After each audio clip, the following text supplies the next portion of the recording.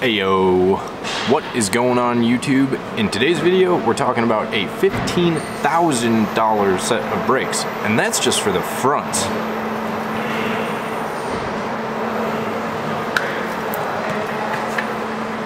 These brakes, stay tuned. I think I broke it.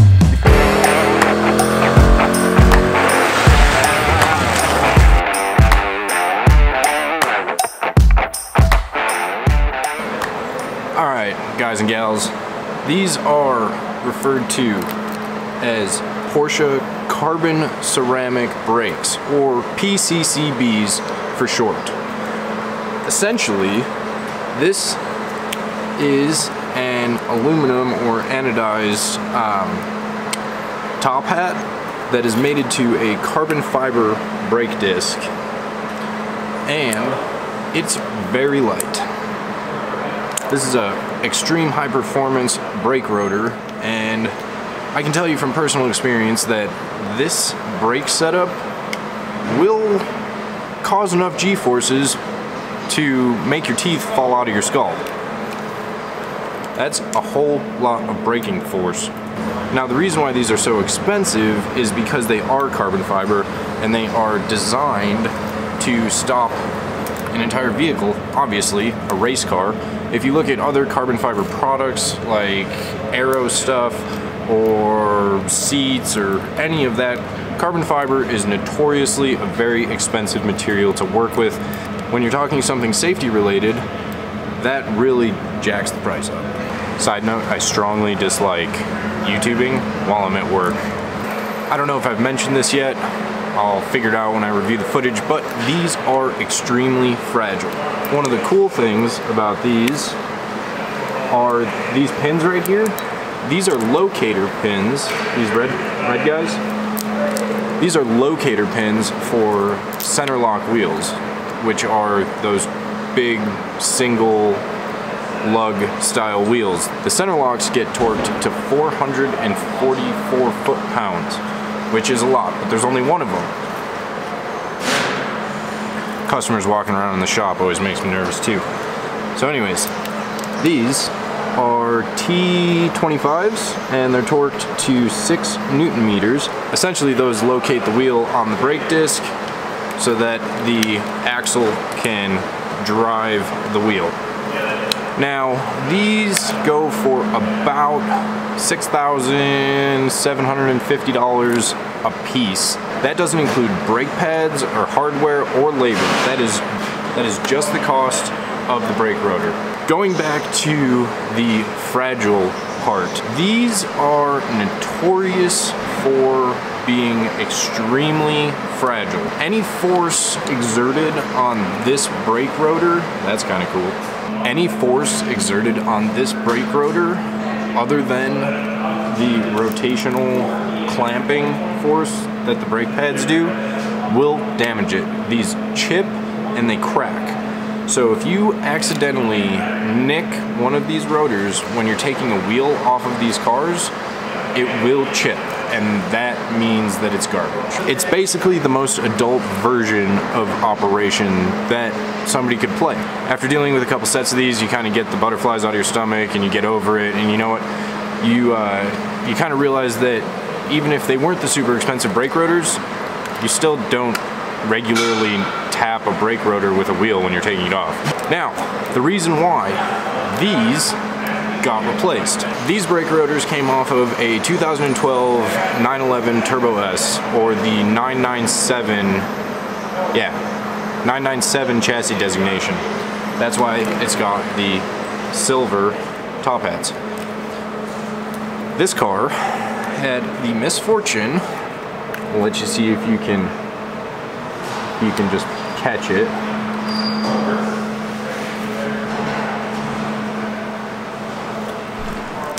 This is probably a $2 bolt or piece of hardware.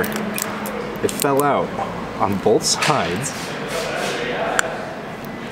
This $2 bolt and nut broke due to rust and corrosion, causing this entire rotor to be out of balance and to give us enough reason to question question the integrity of the rest of the bolts on the rotor, I recommended these brakes probably two months ago and the client spent the last two months calling around every aftermarket shop they could find that has dealt with carbon ceramic brakes trying to figure out if the, if the quote that we gave them was accurate. Well, two months later they came back and the brakes have been replaced.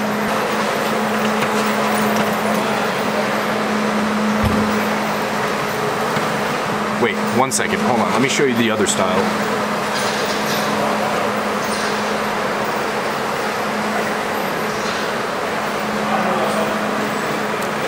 This is the other style. It's got a black top hat, it says Porsche on it, and it's got a more mirrored marbling kind of finish to the rotor itself.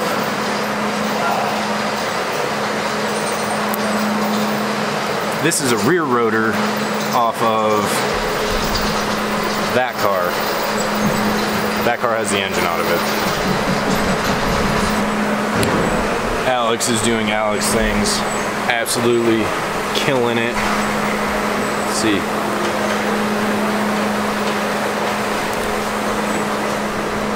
Doing a great job keeping our shop as clean as he possibly can. If you guys haven't checked out the last video, waiting on that new building. This is uh, kind of a hodgepodge, uh, a little bit of a cluster, you know what. One of the dead giveaways for the carbon ceramic rotors are the yellow brake calipers. I don't want to get in trouble for showing you this, but this is one of my current projects that's been driving me absolutely insane. I've had this car on my rack working directly with Porsche trying to figure this out for the last month and a half.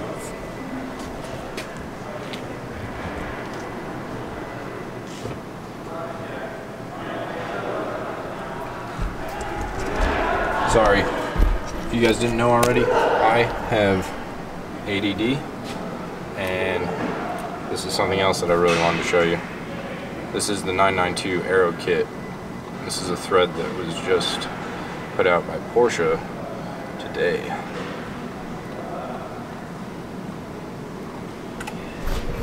Anyways, super excited to see that in real life. Do you guys want a quick toolbox tour?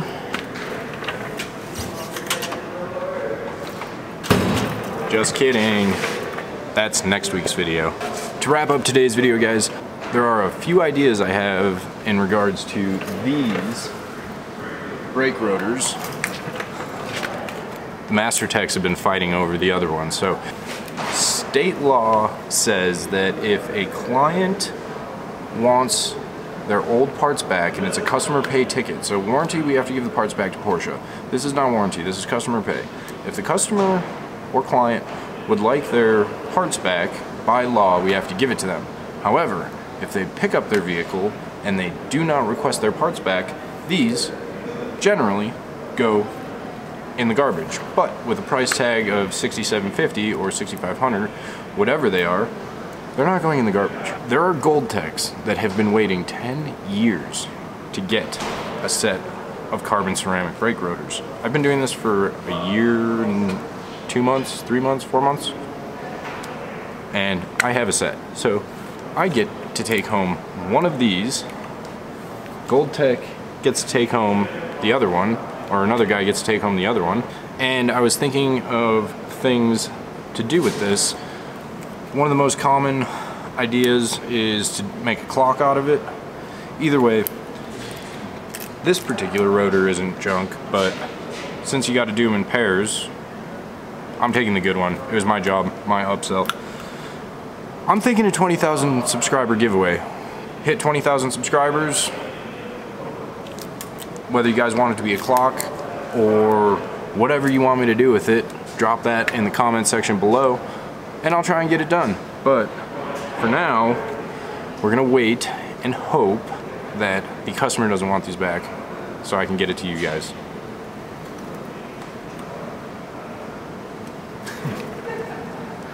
All right, I'm gonna go home and edit some video. Uh, here's some drone footage of the Jeep again, in case you didn't see it the first time. Later.